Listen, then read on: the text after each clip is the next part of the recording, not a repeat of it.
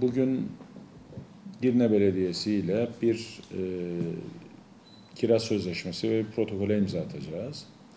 E, buradaki amaç e, Girne bölgesine köpek ve e, ev, evcil hayvanların barınak e, ihtiyaçlarını karşılayacak bir projeyi hayata katmak.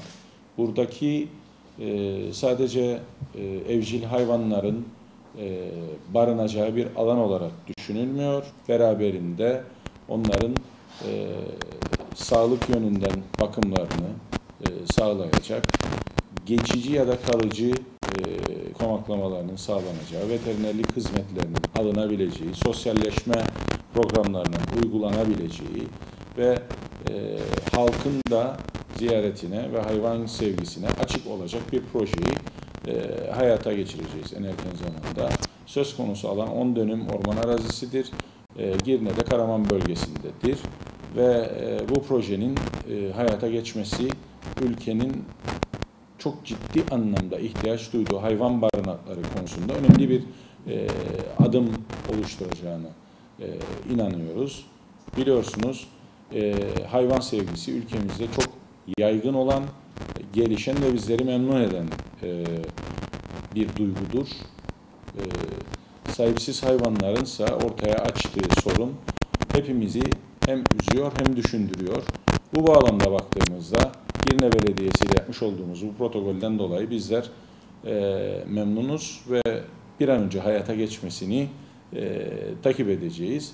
İşbirliğinden dolayı e, Girne Belediye Başkanıma ve Girne Belediyesi'ne e, teşekkür ederiz. E, bu ve benzeri projelerin ada genelinde diğer belediyelere de örnek teşkil edecek e, çalışmaları tetiklemesini e, arzu etmekteyim. Biliyorsunuz Monsa Belediyesi'nde e, hayvan barınağı bitmek üzere. E, birkaç ay öncesinde bizler İskele Belediyesi ile de buna benzer bir protokol imzaladık ve onlar da e, hayvan barınağı konusunda e, girişimleri başlattılar. Netice alma yakın dönemde olacağını bildirdiler.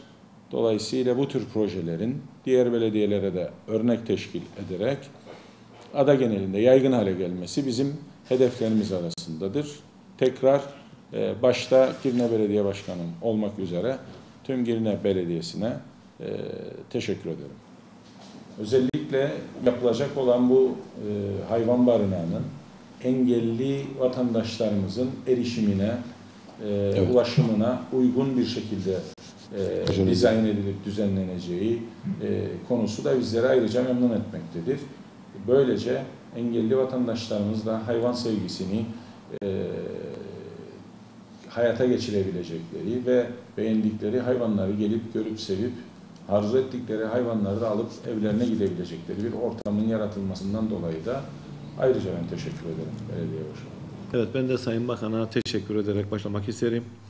Bugün e, Girne kentinde çok uzun yıllardan beri eksikliği hissedilen çok önemli bir projeye adım atmış olacağız. E, Girne'de gerçekten gerek sokak köpekleri, sokak hayvanları, gerekse diğer e, hayvanlar, evcil hayvanlar bir sorun olmak üzeredir, sorundur.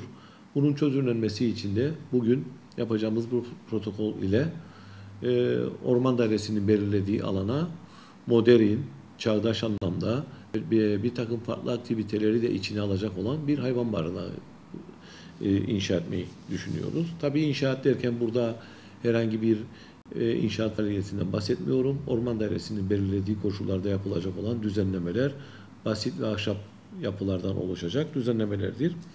E, gerçekten kentte büyük bir eksiklikti ve bunun giderilmesi için de bu ilk adım bizim için çok önemliydi. Uzun zamandan beri bir yer arayışımız vardı. Ancak Sayın Bakan'ın izniyle ve Orman Dairesi'nin de belirlediği alan içinde böyle bir merkezi oluşturmaktan ve projesini hazırladığımız bu merkezi hayata getirmekten gerçekten çok mutlu olduğumuzu ifade etmek isterim. Ben de Sayın Bakanıma gerek belediye meclisim, gerek Girne halkı ve gerekse Girne'deki hayvanseverler adına teşekkür ederim. Hayırlı uğurlu olmasını dilerim.